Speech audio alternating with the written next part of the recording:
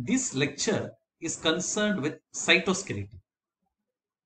Cytoskeleton is a network of fibers that organizes the various structures or organelles inside the cell and it also maintains the activity of the cell. The cytoskeleton are commonly present there in eukaryotes as well as prokaryotic cells.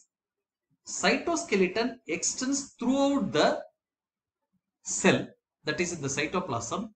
It is commonly referred as the internal scaffold, some kind of an internal support. It is a temporary platform either supported from below or suspended from above or supported with a raised framework. This is a definition for the cytoskeleton. So cytoskeleton is a network of fibers extending throughout the cytoplasm. They play a major role in organizing the structures and activities of the cells. So cytoskeleton gives a mechanical support to the cell and maintain the shape of the cell.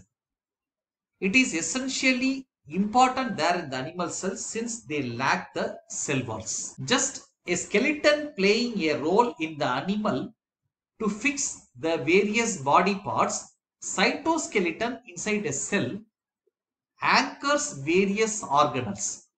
Cytoskeleton is more dynamic than an animal skeleton. However, it can be quickly dismantled in one part and they may be reassembled in another part of the cell. The cytoskeleton composed of three types of molecular structures that includes microtubule, microfilaments and intermediary filaments. The difference between these three components of cytoskeletons have been listed here.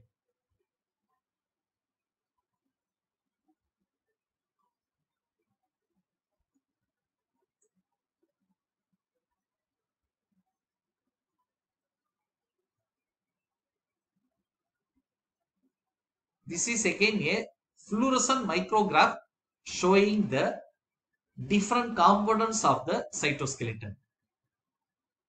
From the examination point of view, you need to just uh, you represent the whole answer in the tabular form that has been shown here. You can just draw these diagrams also which explains about the various subunits that are present in the different components of cytoskeleton. Say for example, microtubules.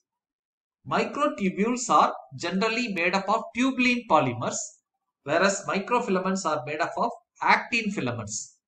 In the tubulin polymers also, two different polymers are there, alpha tubulin and beta tubulin.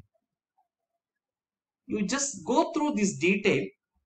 Some more information related with the every different structures of the cytoskeleton were available in another video that have been posted there in our web page.